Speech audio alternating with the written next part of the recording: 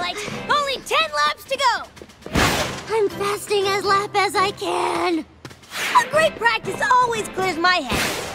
I promise, you'll feel great in no time. Right, guys? We'll catch up.